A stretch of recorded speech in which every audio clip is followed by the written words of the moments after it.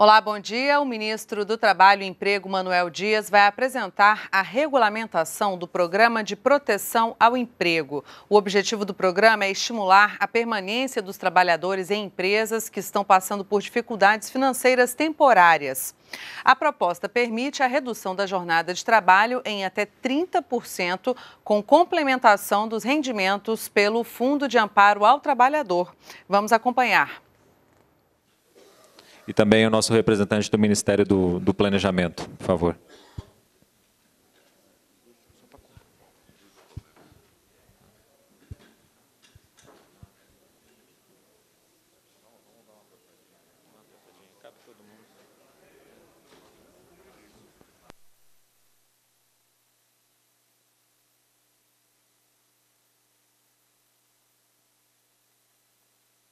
Completando o comitê, o representante do MIDIC também, da Ministério da Indústria e Comércio.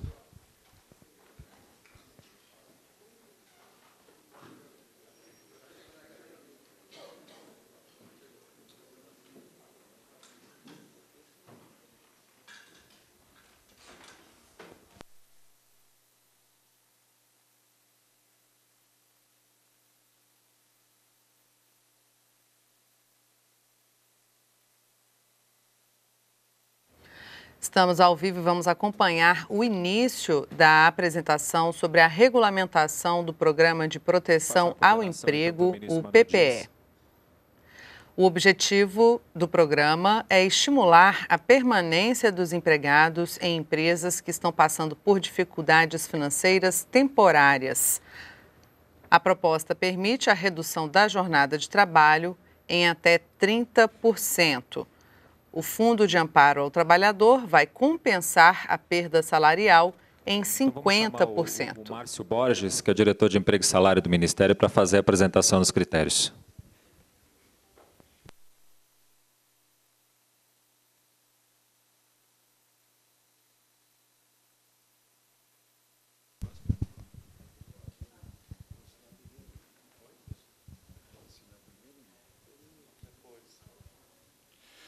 É, bom dia a todas as autoridades presentes, ao ministro do Trabalho e demais.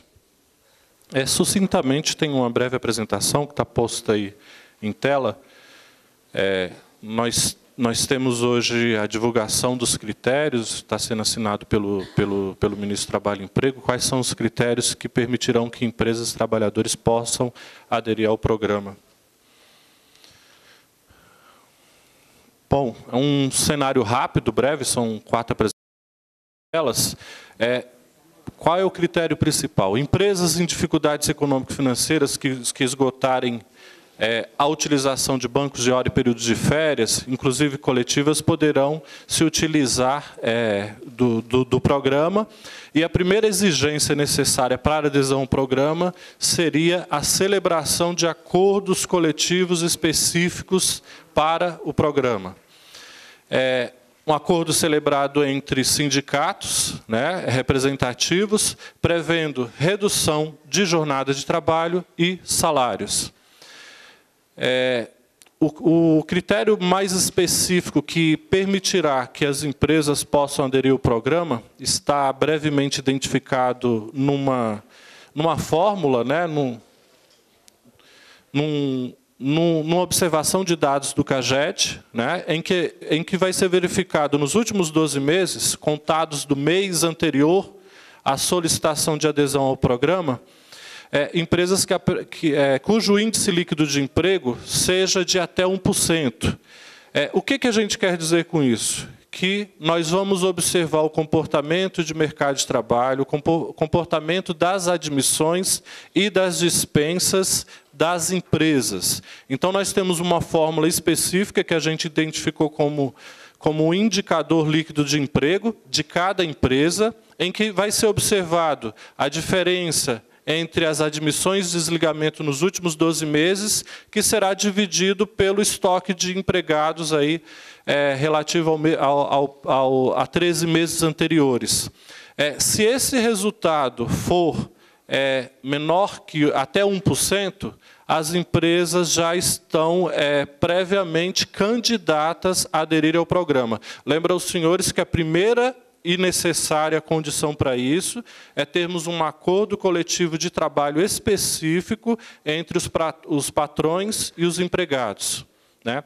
É, Existe também nos próprios critérios alguns mecanismos em que ensejam a possibilidade de que empresas que possam, é, é, possam se manifestar é, para que, para que essas, é, essas informações sejam subsídios é, a ser levados para o comitê para que novos critérios possam ser definidos. Vai haver situações de empresas que não estão adequadas a esse indicador. Né?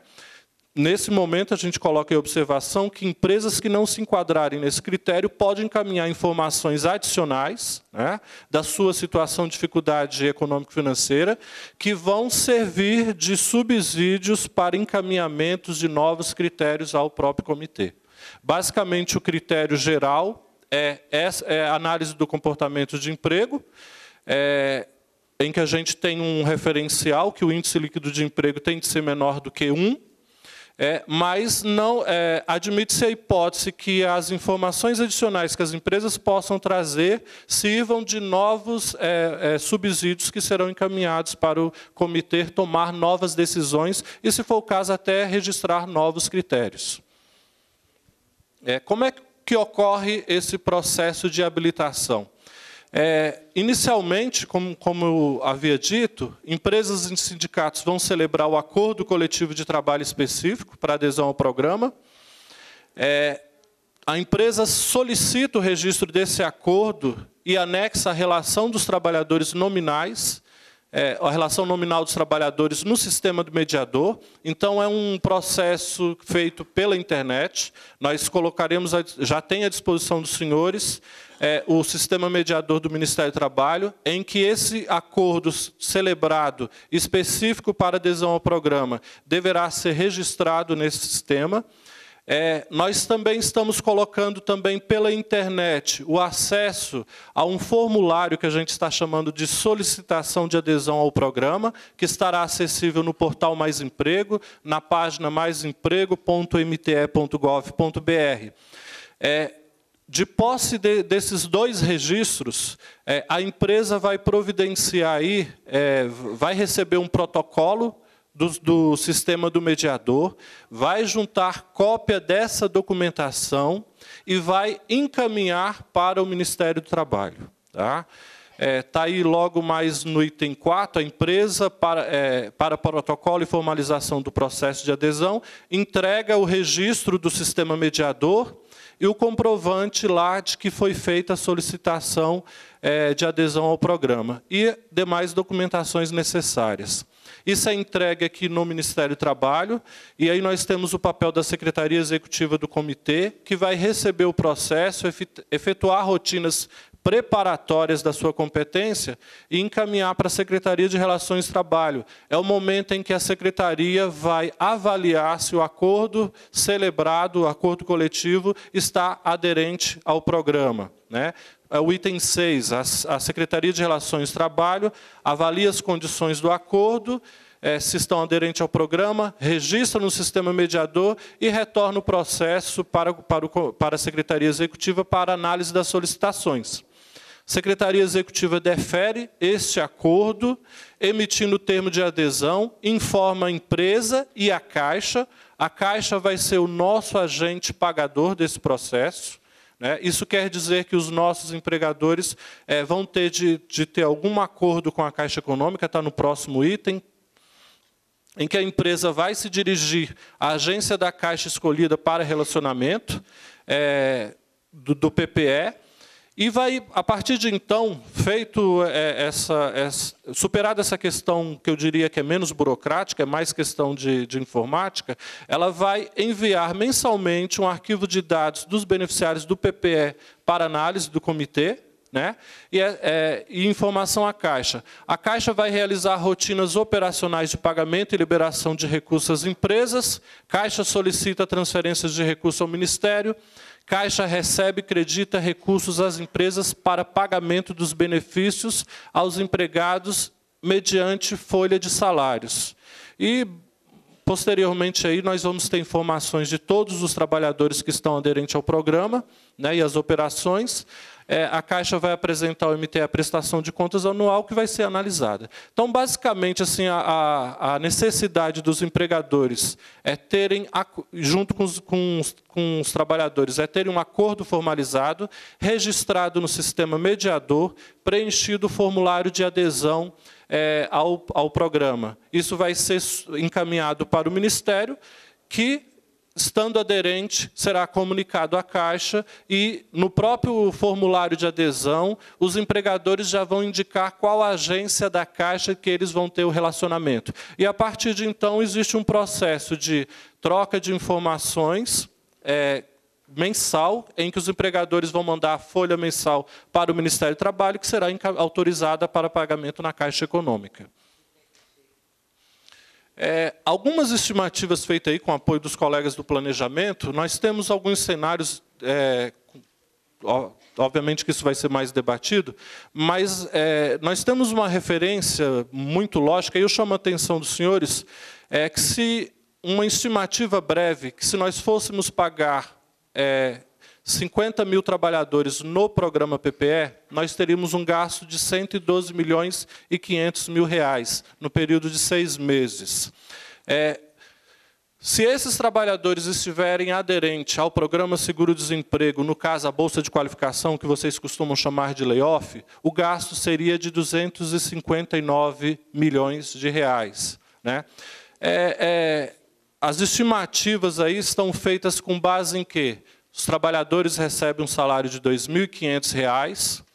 É, um salário do PPE, nós temos aí uma previsão de um aporte aí de até 50% por parte é, do, do, programa, né? da redução, seria a responsabilidade do programa. Então, um salário de 2.500, com salário, é, no salário do PPE, ele ficaria em torno de R$ 2.125. A redução de 750 reais seria é, bancada até 50% pelo, pelo programa, que daria 375 reais. Então, nós teríamos aí, é, com o PPE, 112 milhões e 500 mil de gastos, mas teríamos também um processo de arrecadação de 181 milhões, aí pensando em questões previdenciárias e de, de fundo de garantia.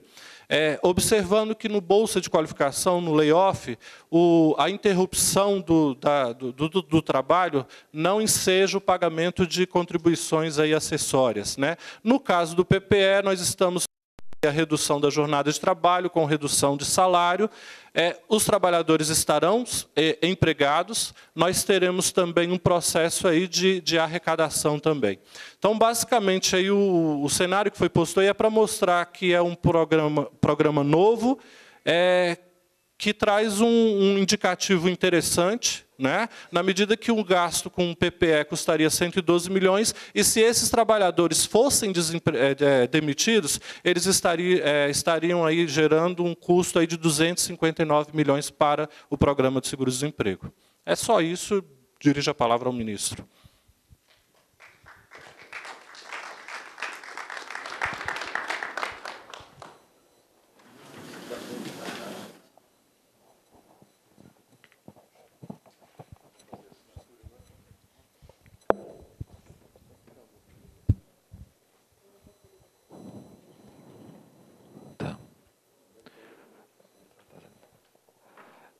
Passar agora, então, a assinatura da resolução que é, permite o funcionamento do Programa de Proteção ao Emprego.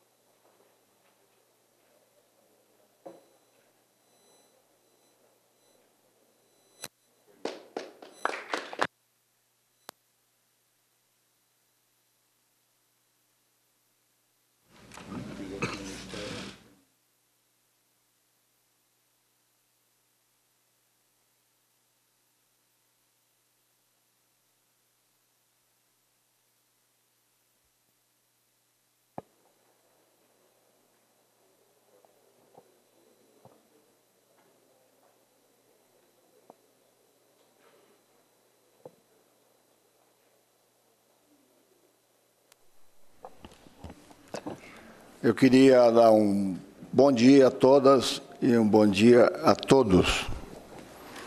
Queria saudar aqui o ministro interino, chefe da Secretaria-Geral da Presidência da República, o Laudemir André Miller, o Ivan Ramalho, que é o secretário executivo do Ministério do Desenvolvimento, Indústria e Comércio Exterior, o Arnaldo Barbosa de Lima, chefe da assessoria de economia e adjunto do Ministério do Planejamento. Queria saudar aqui o José Calixto Ramos, é, presidente da Central Sindical e representa aqui os, os trabalhadores brasileiros e também cumprimentar aqui o presidente da Anfávia, Luiz Moan. Saudar também aqui a presença do nosso deputado federal, é, do nosso partido, PDT, Dagoberto. Saudar o nosso secretário executivo do Ministério do Trabalho e Emprego, Francisco Ibiapina. Saudar o secretário executivo é, do Comitê do Programa de Proteção e Emprego, o nosso companheiro também Giovanni Queiroz. Saudar a todos quantos nos prestigiam neste ato, funcionários dos diversos ministérios, a imprensa, jornalistas, fotógrafos. E eu queria iniciar a minha fala, primeiro, agradecer a ação empreendida pelos funcionários dos ministérios que constituem o Comitê do Programa de Proteção e Emprego. Ministério da Fazenda, Ministério do Planejamento, MDIC, Secretaria-Geral da Presidência da República e o Ministério do Trabalho e Emprego, que tem como tarefa coordenar esse comitê. Uh, foram fixados pela presidenta Dilma 15 dias para que nós regular, regul, eh, regulamentássemos a medida provisória e em 13 dias, trabalhando diuturnamente, os técnicos, os representantes destes ministérios elaboraram os documentos desse importante, eh, esse importante documento, que é representativo de um momento de dificuldade e que o governo, com ele, pretende dar a sua contribuição, juntando os setores representativos dos trabalhadores e da produção. Foram dias de muito trabalho e não completamos os 15 dias, porque os 15 dias seria amanhã. Então, nós antecipamos, dada a urgência que entendemos e da rapidez com que nós queremos implementar a implantação deste programa, que, como já foi por muitos é, contemplados como um programa que realmente vem atender, no momento de dificuldade, aquilo que é fundamental para o nosso governo. Primeiro, a manutenção do emprego. Os trabalhadores contemplados por esse programa terão redução de carga horária e redução salarial, e o governo vai pagar uh, parte dessa redução, 50% uh, da redução, e com isso manter os trabalhadores um, em pleno emprego, uh, sem perda das vantagens das contribuições que permanecerão. É um programa que já a longa data havia sido discutido. Ah, quando da eclosão da crise mundial, crise financeira, a própria OIT indicou aos países europeus a aplicação, a adoção deste programa. Aqui mesmo no Brasil, em 2012, creio eu, 2013, eh, estiveram na Alemanha uma comissão representativa dos trabalhadores e dos empregadores para fazer uma avaliação deste programa lá na Alemanha, onde havia sido feita a sua aplicação. As manifestações que até agora nós temos recebido é de quase unanimidade, tanto por parte da representação dos trabalhadores quanto da representação dos empregadores. E esse programa, além da manutenção do emprego, privilegia também ah, um, um, um ato, uma ação que é muito importante também no nosso governo, que é o diálogo social. Ah, para que o programa seja implementado, para que as empresas possam solicitar a sua inserção neste programa, tem que haver um prévio, uma prévia, um prévio entendimento, um acordo coletivo específico entre trabalhadores e empregadores. A partir daí é que inicia a possibilidade das empresas acessarem e requererem é, o benefício deste programa. E também ele, como eu disse, já dá um, condições para que as empresas possam promover programas de recuperação econômica e financeira. Então, o governo aposta muito nesse programa.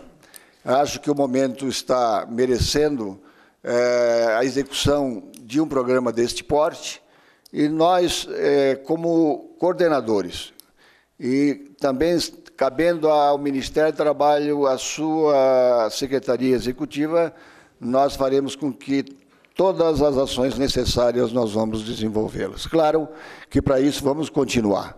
O comitê se reunindo tantas vezes quantas forem necessárias, os técnicos que elaboraram todos esses documentos vão fazer parte é, permanente né, de discussões que vão surgir.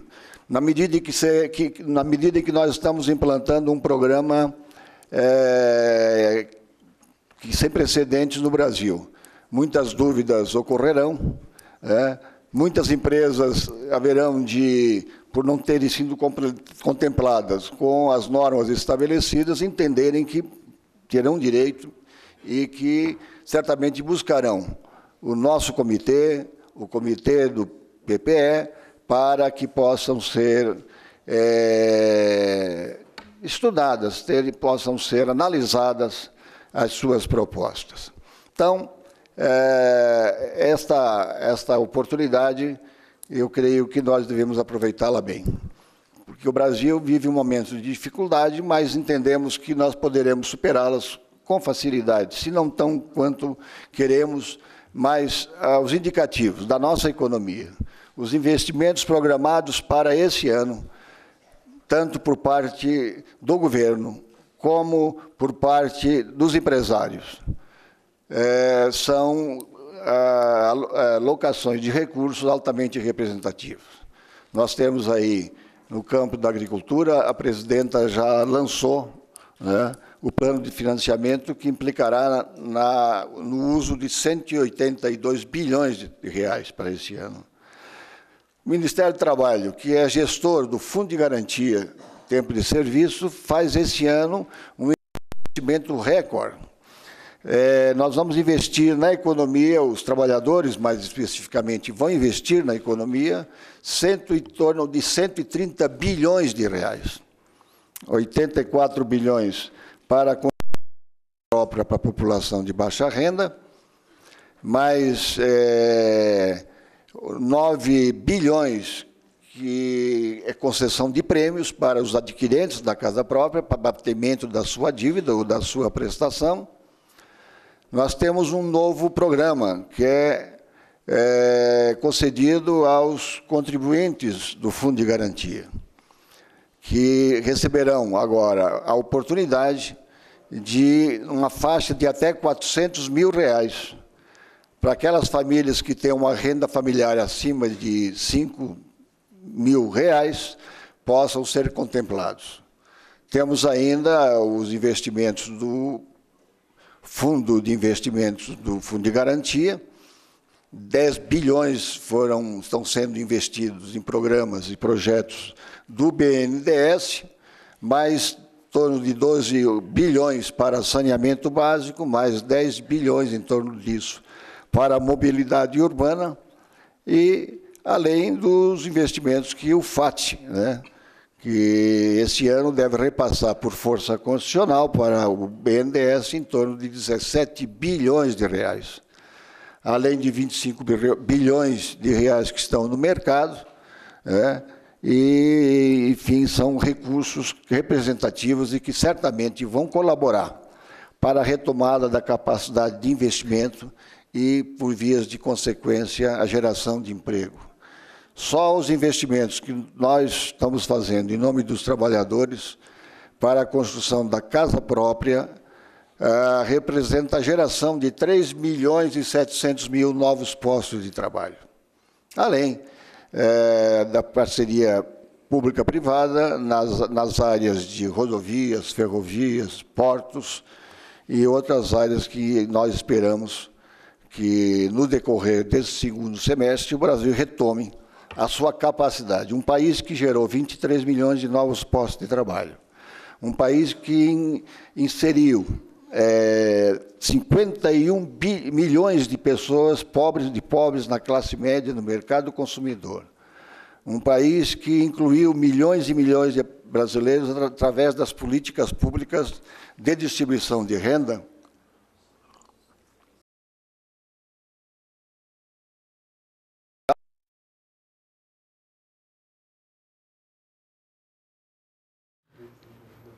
Nós estamos com problemas na nossa ah. transmissão. Você estava acompanhando ao vivo a entrevista coletiva concedida pelo ministro do Trabalho e Emprego, Manuel Dias, ele que assinou a regulamentação do Programa de Proteção ao Emprego, PPE. Que teremos também ainda a segurança para nós que somos executores desse plano, a comissão é, que vai ser constituída entre trabalhadores e empregadores, que vão acompanhar a execução do programa, vão fiscalizar o programa, que certamente vão contribuir enormemente para o sucesso deste projeto. Então, eu queria agradecer a todos, reiterar aqui ah, o agradecimento a todo esse pessoal que se dedicou aí, perdendo sono, dormindo pouco, né? Mas que certamente apresentaram uma proposta que é passível ainda de alterações. O nosso comitê, tantas vezes quantas forem necessárias, necessárias nós vamos convocá-lo para adequar este programa, que por ser um projeto é, inicial, pela primeira vez aplicado aqui no nosso país, é, certamente teremos necessidade de adequações, de modificações, mas sempre com um objetivo maior, que é a manutenção do emprego. Muito obrigado a todos.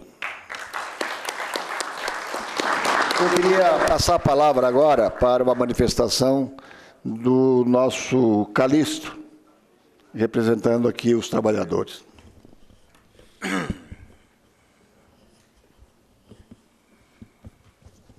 Começou uma parceria.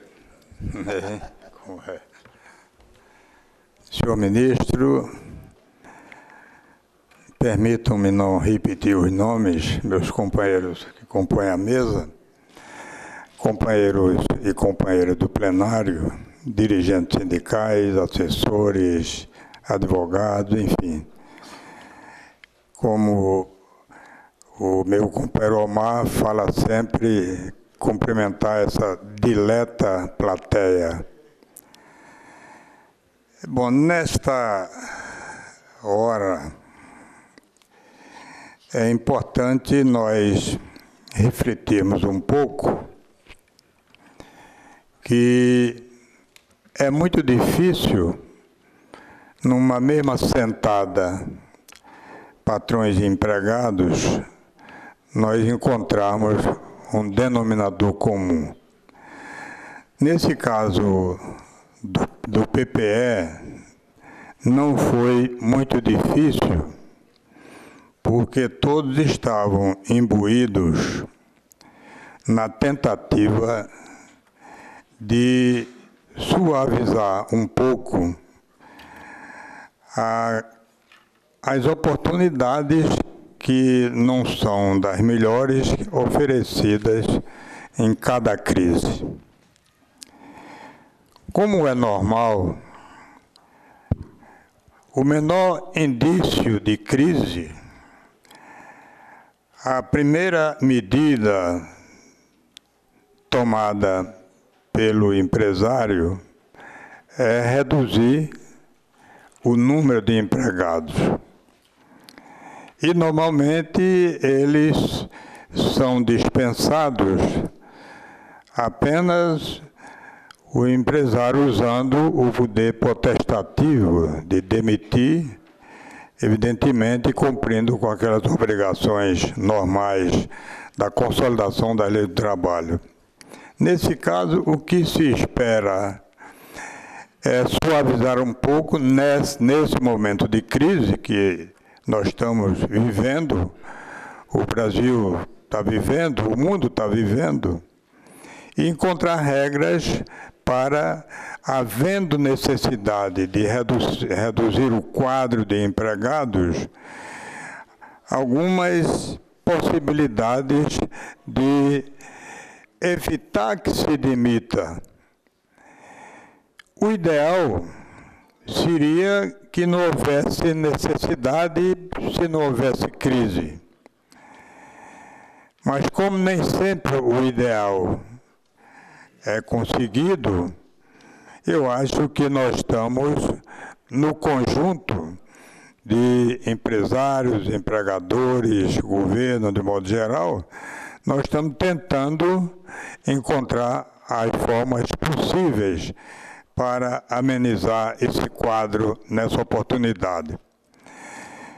É bom eu salientar que não estou aqui autorizado a falar em nome de todas as centrais, mas posso também adiantar que na última reunião que nós tivemos com a presidenta Dilma, todas as centrais deliberaram pelo apoio a esse programa.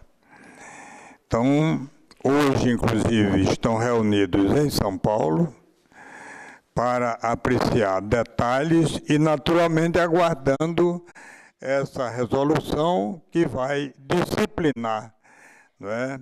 como as empresas poderão e deverão aderir ao programa.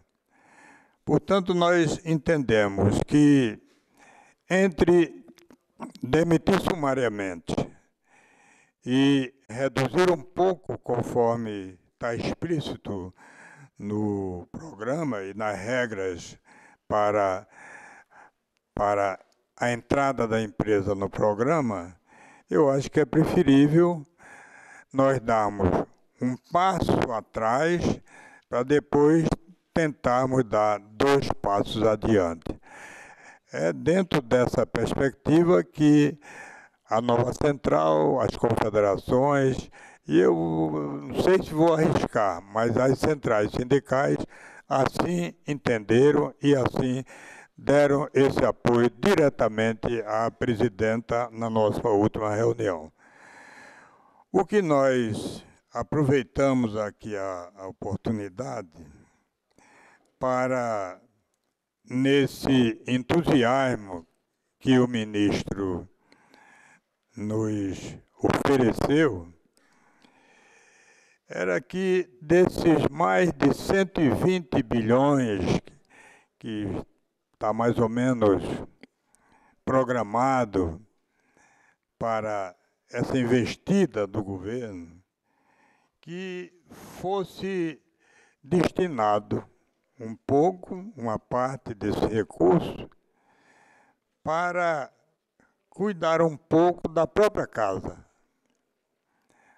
da estrutura do próprio Ministério do Trabalho, que, na verdade, tem deixado muito a desejar quando você anda pelo Brasil afora com contatos com as superintendências. Isso envolve tanto a questão de ordem material, como a questão de ordem pessoal, do ser humano, recursos humanos. Então, nós queríamos aproveitar exatamente essa ordem. Olha, tem recursos. Então, se tem esses recursos, por que não dividir um pouco, por que não melhorar a estrutura? Eu, como eu disse diretamente à presidenta Dilma, que o Ministério do Trabalho era considerado um primo pobre do governo. E precisava melhorar esse tratamento, porque é filho né, de uma mesma pátria. Então eu queria aproveitar também essa oportunidade para já pedir ao ministro esse cuidado, que esse é o ministério que nós temos uma convivência permanente. E eu venho de uma época como eu já vivi mais do que vocês todos praticamente, venho de uma época que o Ministério Público não tinha, na época do selo ainda, não tinha selo para pôr uma carta no correio. E outras coisas mais que são detalhes. Né? Nós queremos ver o Ministério igual a todos os demais. Né? E nós estamos dispostos a colaborar com o Ministério em tudo que for possível. Né? Esse pragmatismo que tanto falamos, nós precisamos tê-lo de volta dentro do Ministério do Trabalho, né? Então, ministro, fica aqui o nosso recado, né? E, e o nosso apoio, eu creio que o apoio das centrais também para esse programa. Vamos, na verdade, fiscalizar também do nosso modo. E uma das coisas principais, a nosso juízo, é exatamente a liberdade que tem a entidade sindical de aderir ou não ao acordo. Qualquer tipo de acordo só será feito com a anuência da entidade sindical respectiva. A nosso ver, valoriza a entidade, valoriza a instituição como um todo e ajuda né, naquela hora que o trabalhador era apenas dispensado e ficava né, correndo atrás de novos empregos. Então, nós estamos aqui mais uma vez oferecendo esse apoio em nome da nova central e eu, como diz, vou arriscar ainda em nome das centrais sindicais de trabalhadores. Muito obrigado.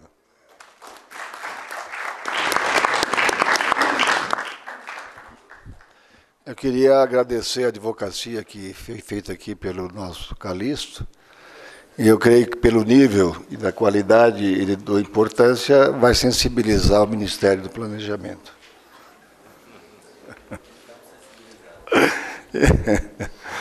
Mas é, estamos já em entendimentos lá com o Ministério com relação ao concurso, com relação à melhoria da estrutura para responder a todas essas demandas. Nós dobramos o número de empregos do Brasil, nós dobramos tudo no Brasil mas não dobramos o número do orçamento nem dos servidores, especialmente auditores fiscais para o Ministério do Trabalho.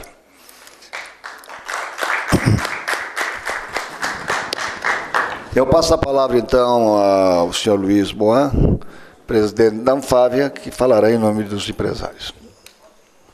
Bom dia a todas e a todos. É um, me permito, senhor ministro, em seu nome, agradecer o trabalho de toda a equipe de governo. Eu sei que foi um trabalho muito duro, e não de apenas 14 dias, porque, na verdade, esse trabalho todo começou muito antes. Então, agradecer em seu nome a toda essa equipe e fazer um pedido ao senhor também que leve os nossos agradecimentos à presidenta Dilma pela sensibilidade e compreensão do momento em que passamos. Uh, o PPE, na nossa visão, é um instrumento, como um instrumento adicional às várias ferramentas que nós já dispunhamos aqui na nossa legislação de proteção ao emprego, eu vejo não somente como instrumento adicional, mas como a adoção de um, um novo mecanismo com algumas características. Primeiro, moderno, Segundo, que permite aperfeiçoamentos ao longo do tempo. Ah, o fato da grande regulamentação ser feita por resolução que o senhor assinou agora, ela dá essa flexibilidade, ou seja, ela é moderna, inclusive do ponto de vista de desburocratização de normas.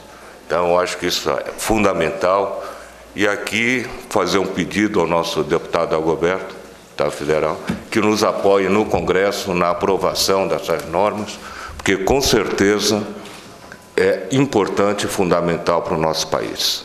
E não apenas para um setor, algumas críticas que é dirigida ao setor automotivo, não é uma norma universal para todos os setores, com regras gerais como foram ah, expostas e, portanto, fundamental para que um país moderno, nós temos que saber que a economia ela tem momentos de grande prosperidade, mas tem momentos de crises. E isso é cíclico. Então, esse mecanismo ele é fundamental do nosso ponto de vista, no sentido de proteger emprego na, nessas fases de crise que toda economia passa de vez em quando. Uh, eu diria também que ele é extremamente importante, mesmo no curto prazo, do ponto de vista de governo, nesse momento de necessidade do ajuste fiscal, que nós entendemos também mas como foi demonstrado, é um mecanismo pró-ajuste fiscal. Eu acho que esse é um registro extremamente importante. Para o trabalhador, eu diria que a grande vantagem ali naquela conta foi mostrado a diferença pró-ajuste fiscal do PPE versus o layoff ou, ou a suspensão temporária do contrato de trabalho. No layoff, gente, o funcionário ele fica 100% do tempo em casa. Isso não é bom do ponto de vista do trabalhador. No PPE, ele tem a possibilidade de em estar ajudando a ultrapassar a crise, mas estar trabalhando também. Eu acho que esse, esse aspecto foi pouco debatido na sociedade nesses últimos meses, mas eu reputo como de extrema importância. Para a empresa, nenhum empregador gosta de perder o seu empregado, especialmente aquele qualificado. A qualificação, gente, é fruto de um investimento em treinamento, em qualificação. Ah, e a, o que nós precisamos é manter a produtividade, mesmo no momento de crise até para se preparar para o momento seguinte, que a crise passa, como essa que nós estamos vivendo, vai passar. E nós precisamos, para esse momento de recuperação, ter um maior número possível de trabalhadores qualificados já para ajudar a empresa e a economia a sair da crise. Quando pensamos em economia brasileira, eu digo o seguinte: o nosso setor Hoje, o setor automotivo passa por uma crise. Eu, eu costumo dizer que é uma crise absolutamente momentânea. Se não fosse momentânea, as associadas da nossa entidade não estariam mantendo bilhões e bilhões de reais de investimentos previstos até 2018. Não houve cancelamento de um centavo de investimento. Por quê? Porque nós sabemos que esse momento é o momento, não é o panorama que nós temos aqui. O nosso setor continua não só investindo, como melhorando seus produtos, modernizando fábricas, construindo novas fábricas, e nós vamos continuar investindo, sem dúvida, aqui no, no país. E nós achamos que para garantia desse futuro, o PPE é um instrumento também fundamental. Por quê? Qual é o momento que nós passamos hoje com essa queda de vendas que acaba repercutindo na produção? É o nível baixo de confiança do nosso consumidor brasileiro. Ora, e qual é o principal fator de redução desse nível de confiança do consumidor? É o medo de perder emprego, gente. Então, o PPE, como instrumento de proteção ao emprego, e nós aqui aceitamos, inclusive, que haja garantia de emprego para esse, esse, esses funcionários que forem incluídos no, no PPE, eles estão garantia de emprego, não somente pelo período do PPE, mas também por um tempo adicional. Gente, este, na minha visão, é o programa que pode dar, junto com todos os lançamentos que o ministro se referiu, Plano Safra, Plano Safra da Agricultura Familiar, Programa Nacional de Exportação. Na minha visão, o PPE é o começo do ponto de inflexão desse baixo nível de confiança do consumidor. E por isso que eu queria agradecer de novo, ministro, e de novo pedir para o senhor levar um nosso agradecimento à presidenta Dilma pela sensibilidade na adoção do programa. Muito obrigado, gente.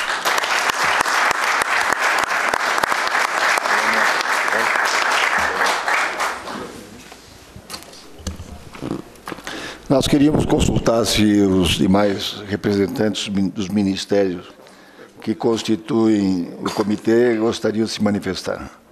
O ministro interino da Secretaria-Geral, é, Laudemir, queria, queria manifestar? Ah, ele quer que a gente já abra ah, para a imprensa ah, a fim de que eles possam formular as suas perguntas. Perguntas, colegas? Joconda Brasil da TV Globo, bom dia. É, a gente leu aqui que o prazo máximo para adesão ao programa é de um ano. Eu gostaria também de saber se existe um prazo mínimo de qual seria. E eu gostaria de uma tradução sobre esse índice. Quando uma empresa chega nesse índice, significa o quê, esse 1%? Esse 1% é o que exatamente? É, como é que a gente mensura que a empresa que chega nesse índice, ela está, de fato, passando por alguma dificuldade econômica, financeira? E, por fim, uma última pergunta. A empresa também vai ter que comprovar a dificuldade econômica financeira é, com faturamento, dados de faturamento ou não? Obrigada. Eu... Eu queria convocar aqui o, o, o Arnaldo para que ele pudesse responder essa pergunta. Alô? Estão me escutando? É, bom dia, Arnaldo Lima, Ministério do Planejamento. Em relação à primeira pergunta, no que diz respeito a, ao tempo mínimo, a gente não estabeleceu nenhum tempo mínimo, mas a gente sabe que o acordo coletivo, em média, ele dura quatro meses e está condizente com os primeiros seis meses que a empresa solicita, podendo ser prorrogado, e essa análise ela vai ser feita pelo, pela Secretaria de Política Pública de Emprego. Sobre a condição de dificuldade, eh, situação de dificuldade econômica financeira, no que diz respeito ao artigo 2 da MP, o que a gente está definindo é justamente esse índice de emprego. Por quê? O índice de emprego ele é um índice que reflete tanto a, a economia de uma forma geral, como a situação de dificuldade financeira da empresa. Então, a, a empresa tem que ter dificuldade econômica e financeira. Econômica, a gente sabe que é, esse índice ele queria estar na mediana entre o ponto da crise de 2009 e esse ponto atual. Então, um ponto intermediário, daí que se estabeleceu esse índice. O que significa isso? Que é a diferença entre admissão e demissão sobre o total de trabalhadores que a empresa tinha 12 meses, 13 meses antes de entrar, de fazer a solicitação. Então, quer dizer que ela não está expandindo demais a sua, sua, a sua, seu estoque de trabalhadores, porque se estivesse fazendo isso, ela estaria com uma saúde financeira não tão é, privilegiada. O senhor pode dar um exemplo? Uma conta, uma empresa que tem X trabalhadores? Então, é uma empresa que tem 100 trabalhadores, se ela tiver admitindo é, 10 trabalhadores e reduzindo 9, na média ela está com 1 sobre o total de 100. Então, ela estaria elegível ao programa. Só que na média de todos os setores a gente sabe que esse número hoje, infelizmente, é um número que é, é ele está no saldo positivo, o que leva em conta que as empresas não precisam demitir para entrar no programa, mas a gente sabe que elas já enfrentam dificuldade de emprego. Então, na prática, as empresas que acessam o layoff, elas, elas também já estariam elegíveis na média. Não quer dizer que todas, todas as empresas de todos os setores é, estariam. Né? Ela tem que observar esse índice. E esse índice é declarado. Ela estaria com um negativo, logo ela estaria elegível. Elegível, porque ela estaria com um negativo. É abaixo de 1% positivo. Tá? Uh, só queria complementar, bom dia, é, Laudemir, da Secretaria-Geral da Presidência da República. É, é, Joconda, né? É, eu, assim, o que eu queria salientar aqui, da importância, que é o seguinte, o que, que nós queremos? Nós queremos que as empresas que ainda estejam gerando empregos líquidos, pouco, é 1%, mas que ainda estejam gerando empregos, possam aderir ao PPE. Ou seja, nós queremos oferecer o PPE antes que as empresas demitam, antes que ela entre numa rota negativa.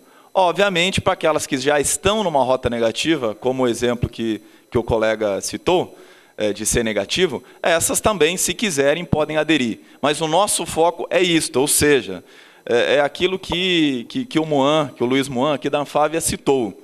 Nós imaginamos que há muitas empresas que acreditam no país, que acham e entendem que nós estamos numa retração temporária e para enfrentar essa retração temporária, elas não querem demitir, porque elas querem manter os seus empregados, querem manter a sua força de trabalho, em especial aquela força de trabalho que elas levaram muitas vezes anos ou meses qualificando, de modo que assim que a economia retomar o seu crescimento, essa força de trabalho já esteja ali instalada e rapidamente essas empresas possam retomar. E o segundo aspecto, que esse é um critério absolutamente universal, claro, objetivo e que já existe e que já é utilizado, inclusive, em outras, em outras políticas. Então, essa declaração né, de emprego, desemprego, de geração líquida, esse indicador, é dado pelo CAGED, ou seja, universal, todo mundo já conhece, são declarações que todas as empresas, todos os ramos, todos os setores já fazem, são dados conhecidos, transparentes para os trabalhadores, para os empresários. Então, nós achamos que é, é, esse critério ele traduz também a dificuldade econômica financeira da empresa, né, ou seja, a geração líquida dela de empregos reflete também a sua condição econômica e, a partir daí, um critério muito objetivo fácil, a gente possa rapidamente analisar os pedidos de adesões eh, a, que serão remetidos e, obviamente, todo pedido de adesão ele nasce eh, por excelência do acordo coletivo entre as empresas e os seus empregados, entre as empresas e os seus sindicatos. Né? Então, esses que são os nossos dois, duas grandes questões. Um, o acordo coletivo, primeiro, e um outro um critério estável, objetivo, claro, transparente, que já existe de conhecimento público para a adesão. Próximo. É, bom dia, Marcela da Reuters. Eu gostaria de saber se você já tem uma estimativa de quantas empresas poderiam é, solicitar adesão nesse momento, a partir desses critérios, e qual seria o impacto disso para o FAT. Obrigada. Quer saber o, impacto que, geraria um volume de adesão? Ah, o programa ele não tem ainda não temos uma previsão porque é um programa que está iniciando, né? Ah, mas o, foi feito aí uma, uma, um cálculo, uma estimativa em que se levou em consideração é, que o programa atingisse 50 mil trabalhadores. Esses 50 mil trabalhadores é, teriam um custo para o seguro-desemprego no valor de cento, e isso levando em consideração os 12 meses. Nós teríamos um custo de 112 mil reais, é, milhões de reais é, levando em consideração o salário básico de R$ 2.500. É, o que seria um custo menor do que se esses 50 mil trabalhadores fossem demitidos sem justa causa e fossem buscar o benefício do seguro-desemprego, que importaria num custo de 259 milhões de reais nessa hipótese. Né? Outra vantagem é que o governo, como pelo fato de os trabalhadores continuarem no, emprego, continuarão as contribuições. Né? As contribuições continuam sendo é, recolhidas, é, que dá mais uma. que daria. Quanto é que seria aqui? 181 milhões de arrecadação decorrente das contribuições. Então, é um programa que responde às necessidades que já foram aqui colocadas, altamente positivas, dada quase a unanimidade da sua aprovação, e representaria uma economia para o governo.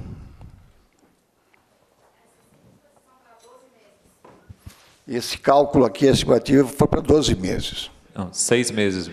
Essa apresentação consta na, da, da, daquela pasta que foi enviada a vocês aí no começo. Tem um quadro no final que tem isso que o ministro acabou de falar.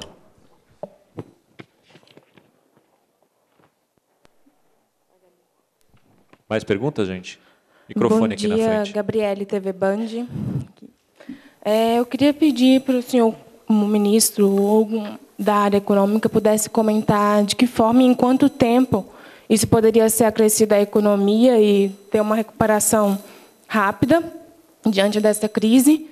E se, além desse programa, há alguma nova medida que pode ser como benefício ao trabalhador nos próximos anos. Tem várias políticas ativas no que diz respeito à geração de emprego, qualificação profissional, né? e vários desses programas objetivam ampliar o mercado de trabalho. Nós temos, com relação ao Ministério do Trabalho e Emprego, um dos programas é sobre aprendiz. É, no aprendiz, ele, que é, no, na maioria dos casos, determinado por lei, a obrigatoriedade do empregador contratar. Nós estamos aqui com um projeto, criamos um fórum nacional, com a participação das centrais sindicais, confederações patronais, sociedade civil organizada, eh, em que objetiva colocar, até o final do próximo ano, 1 milhão e 700 mil aprendizes no mercado de trabalho. Ah, isso levou-se em consideração, primeiro, o cumprimento da lei. Segundo, ah, os, os, os, resultados da, dessa, dessa inserção. 85% dos aprendizes que ingressam no mercado de trabalho permanecem no mercado de trabalho. E 68% deles continuam na própria empresa, criando aí uma fidelização que é muito importante. Né? E temos vários outros programas que são, por exemplo, temos aí recursos do microcrédito é, produtivo acompanhado, que só no ano passado nós aplicamos 12 bilhões de reais e outra tanto está previsto para esse ano, que vamos oferecer paralelamente a todos os cursos de qualificação, no sentido de que esse é, empreendedor individual, pela, pela, pelos números que nós temos da sua vocação é, como, como empreendedor, nós vamos oferecer também recursos para aqueles que querem é, entrar no setor é, empresarial.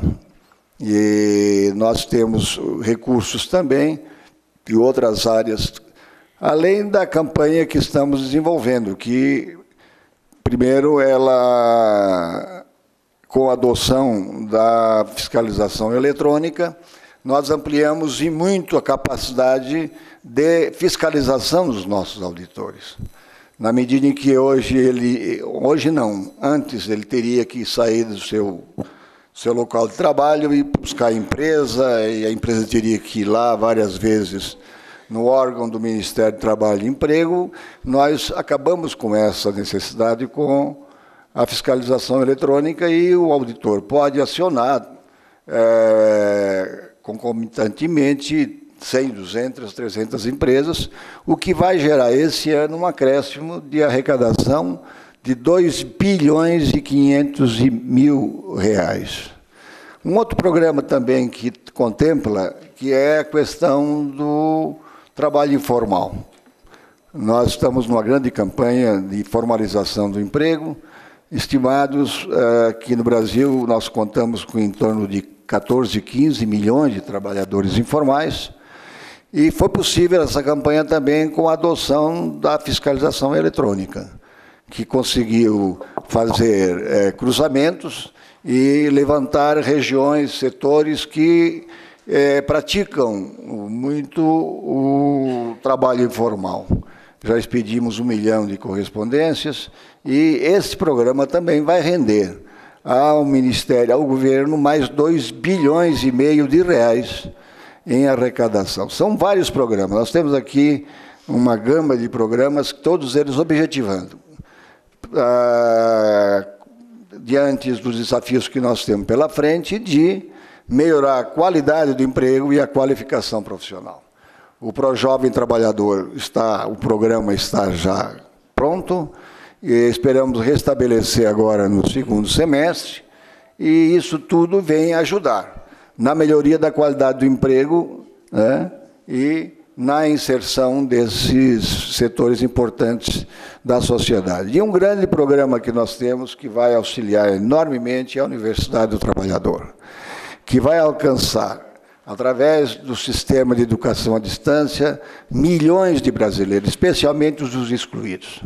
Esses que estão lá fora de toda a possibilidade de se inserir nesse mercado de trabalho, esse modelo capitalista, e através da preparação, somados aí às políticas desenvolvidas pela economia solidária, que é pouco, às vezes, lembrado, mas é o mais importante setor do nosso ministério, porque busca exatamente aqueles que estão lá totalmente fora, excluídos, esquecidos.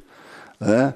São 52 milhões de jovens no Brasil e que nós, quando falamos em jovens, lembramos só de estudante. Isso é minoria, a maioria está lá precisando melhorar a escolaridade, melhorar a qualificação profissional. São medidas todas somadas, elas vão criar condições da retomada da capacidade de qualificação, de é, fazer com que é, nós possamos restabelecer aquilo que foi o grande ganho desses dois governos, que foi a geração de emprego, melhoria de salários. E com isso, somados aos investimentos que aqui o próprio Moan colocou, da confiança de que nós teremos um restabelecimento e a confiança é positiva, nós estamos vivendo um momento de discurso altamente negativo. Né? O que nós vamos estar vivendo é uma crise política que querem fazer com que é, as pessoas possam crer que nós não e, temos condições de recuperação mas uh, os fatos concretos esses mostram e nós esperamos somados aqueles que gostam do Brasil, aqueles que querem um Brasil melhor, mais justo, todos empresários e trabalhadores, a gente vai construir programas, né, ações positivas para que a gente somados todos esses programas possamos é, contemplar né, os nossos objetivos.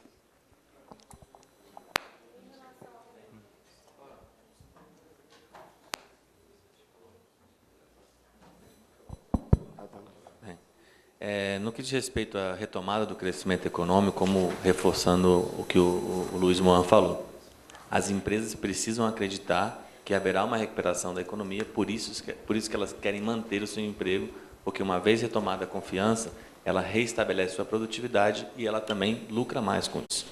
Então a gente tá, é o que a gente, é, a economia é movida por expectativas. As expectativas do Banco Central que são colhidas perante o mercado financeiro já apontam alguma recuperada no quarto semestre, no quarto trimestre, a gente está trabalhando para que seja no terceiro. Então, o que a gente acredita é, é, no setor empresarial, você tem que estar à frente da curva de oportunidades. E uma oportunidade, nesse sentido, é manter o seu emprego, é investir na qualificação do seu trabalhador para que você tenha uma maior produtividade. É, então, acho que a gente acredita que tem uma relação direta e as empresas que acessaram esse programa são empresas que contribuirão para o crescimento econômico.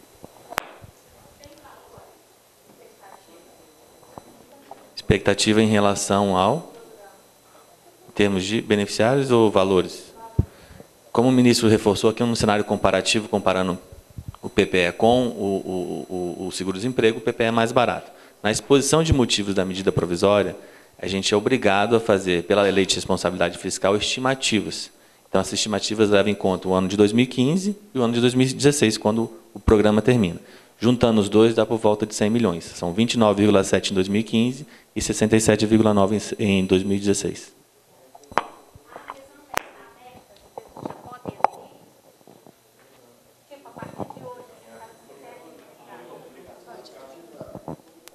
Da publicação das normas, que deverá acontecer amanhã, ah, já os, os empresários estão, estarão aptos a fazer, desde que precedendo a esse pedido, devam fazer o acordo coletivo específico com o Sindicato dos Trabalhadores. É, bom dia, ministro. Vanderson Lima, do Valor Econômico. É, a gente sabe que a, a, o PPE é objeto de medida provisória que está no Congresso. O Congresso né, vem, vem numa, em dificuldades na sua relação com o governo. Queria saber é, para quando que o governo espera que, que a medida provisória esteja aprovada e qual que vai ser a estratégia para que ela não seja desfigurada no Congresso, como aconteceu com outras medidas provisórias que tramitaram esse ano. Obrigado. Eu creio que, dada a aprovação quase que unânime dos setores é, mais interessados, que são os trabalhadores e os empregadores, nós não teríamos nenhuma dificuldade, né? uma vez que os senhores parlamentares eles têm a sensibilidade de que, se tratando de um projeto dessa monta, dessa importância, não cria nenhuma dificuldade. A presença e a participação efetiva, tanto dos empregadores como dos trabalhadores, na negociação, na, na, do diálogo com o Congresso Nacional, vai ajudar, eu creio que facilitar enormemente eh, a execução desse, que é um programa que, como eu disse, ele tem uma aprovação muito grande.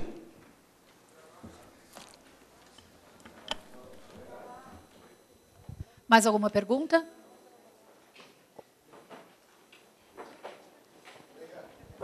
Obrigado, hein?